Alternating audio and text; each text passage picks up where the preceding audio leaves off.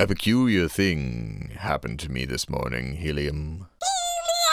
Just as I reached into my pocket to find it empty of any sow, I saw two broken twigs on the ground, shaped like the Greek letters F and S.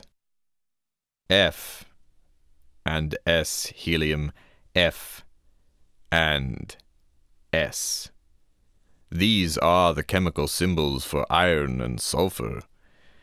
It was a sign, I'm sure, for me to make gold from these two elements.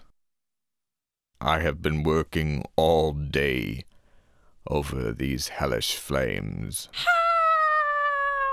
My chopped hands have become poisoned. Poison!